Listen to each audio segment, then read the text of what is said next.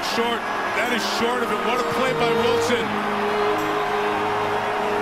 And Sam Hubbard, who grew up a Bengals fan, won a state championship at Moeller High School, championship at Ohio State, makes the massive play to take it the other way and give the Bengals the lead.